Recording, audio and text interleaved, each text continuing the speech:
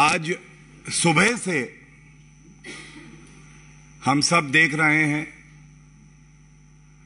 आम आदमी पार्टी के सरकार में मंत्री हैं। उन्होंने ना केवल सभी हिंदुओं की भावनाओं को आहत किया है बल्कि राष्ट्र की अखंडता पे भी एक गहरा प्रहार किया है। बड़े भारी मन से ये प्रेस वार्ता हम लोग कर रहे हैं और सबसे पहले ये कहेंगे, आम आदमी पार्टी के मंत्री, वरिष्ठ नेता ये सब जो वक्तव्य देते हैं, जो हिंदुओं की भावनाओं को आहत करते हैं, ये अरविंद केजरीवाल जी आपके ही कहने पे होता है। और अरविंद केजरीवाल जी एक वीडियो में स्पष्ट सुना जा सकता है कहा जा रहा है और आपके मंत्री की उपस्थिति में कहा जा रहा है, वो स्वयं बोल रहे हैं। मैं ब्रह्मा, विष्णु, महेश को कभी ईश्वर नहीं मानूँगा, ना ही उनकी पूजा करूँगा। मैं राम और कृष्ण को ईश्वर नहीं मानूँगा, ना ही उनकी कभी पूजा करूँगा।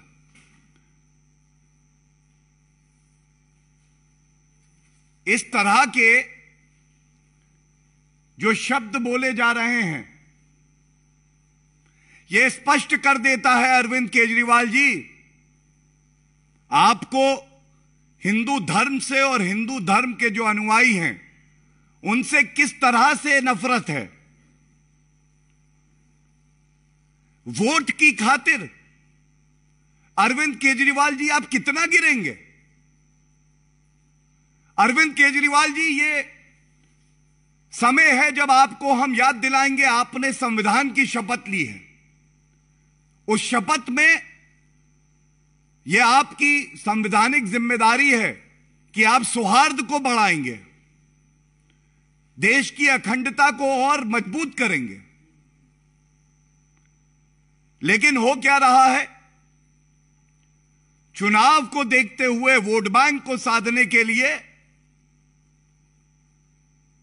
अरविंद केजरीवाल जी के इशारे पर हिंदुओं की भावनाओं को आहत किया जाता है। वो भी आहत एक मंत्री करता है जिसका सोशल जस्टिस डिपार्टमेंट है। अरविंद केजरीवाल जी, बहुत दुख होता है यह कहते हुए भी कि आप चुनाव में चुनावी हिंदू बन जाते हैं, बहरूपीय बन जाते हैं। मुझे याद आता है, हनुमान चालीसा का पाठ कर रहे थे आप। जय हनुमान, ज्ञान गुण सागर, जय कपीस्ती हो लोक उजागर। रामदूत सुनित भलधामा, अंजनी पुत पवन सुतनामा। चुनाव खत्म। हिंदुओं को वोट बैंक समझते हैं। उनकी भावनाओं को आहत करने का काम खुद ही करवाते हैं। अगर आपकी याददाश्त चली गई हो तो यह तस्वीर लेके आया हूँ। देखिए, किस तरह से तब तो मंदिर जा रहे थे।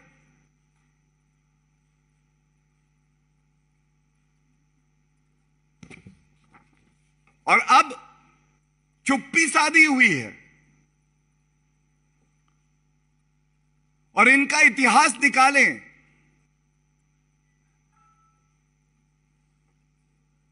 हर भारतीय हिंदू चाहता था अयोध्या में भव्य राम मंदिर बने।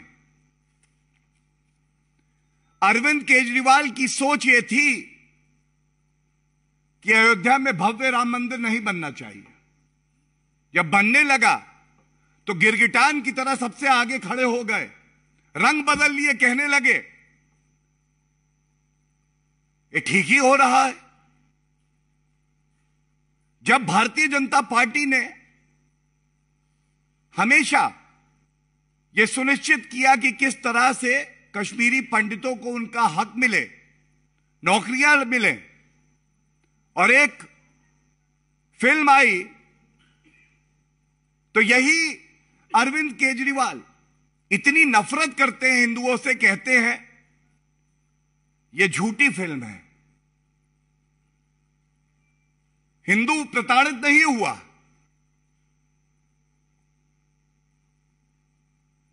आज इस मंच से यह कहना ज़रूरी है।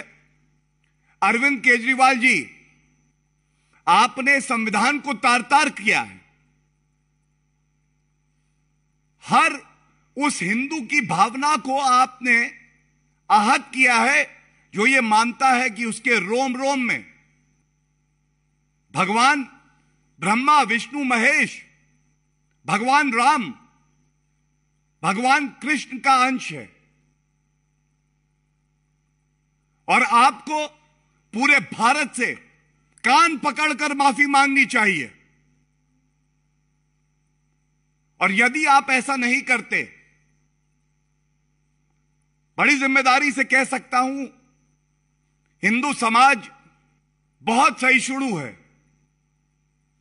लेकिन अपने इष्ट, अपने ईश्वर और भगवान का अपमान कतई सहन नहीं करेगा। हम ये भी मांग करते हैं कि आप ऐसे मंत्री को जो नफरत फैला रहा है जो दंगे कराना चाहता है आपके इशारे पर, तुरंत बर्खास्त करें। जो शपथ आपने ली है संविधान की, समय आ गया है। आप अग्नि परीक्षा दें।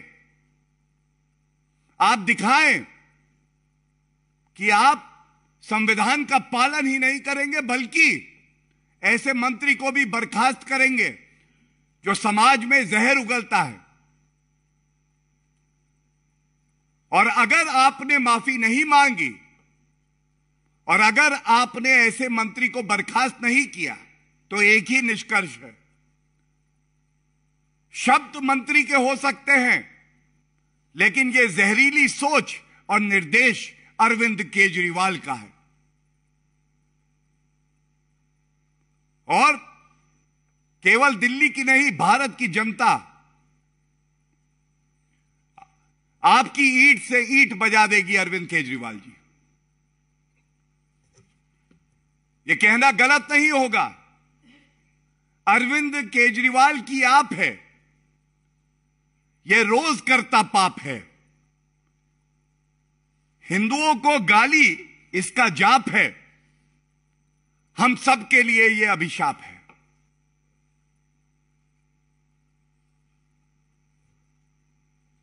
और मैं एक बात और कह दूँ।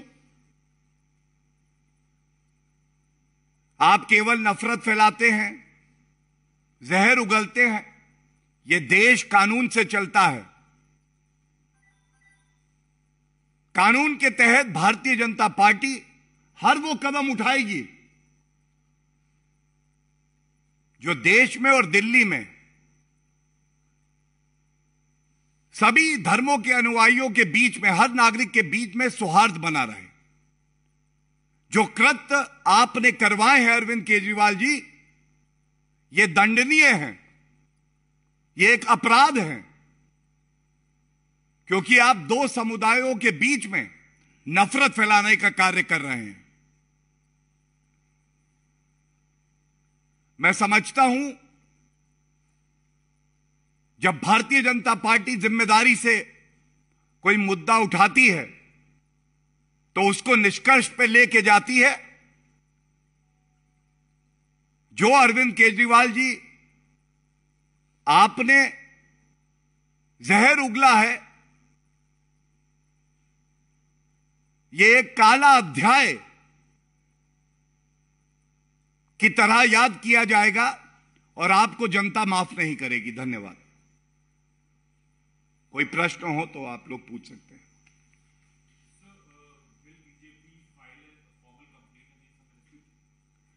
As I said earlier all steps required to ensure that peace tranquility brotherhood remains intact not just in Delhi but in India will be taken by the Bharatiya Janata Party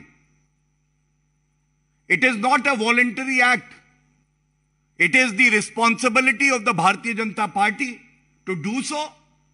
And we assure the citizens of the country every effective step, legal, political, will be taken to ensure that Arvind Kejriwal does not dare to spew venom against the Hindu community and is not able to disturb peace, tranquility, and brotherhood that prevails in our country and especially in Delhi.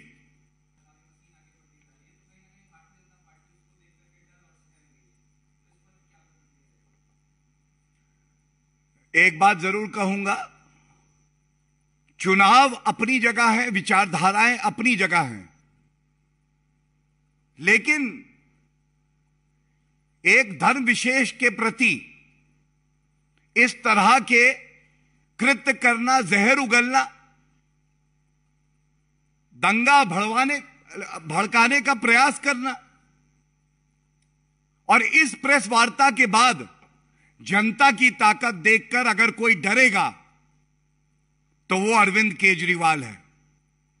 कानून के सामने अरविंद केजरीवाल और उसकी सांप्रदायिक party को झुकना होगा, वो बहुत छोटी है।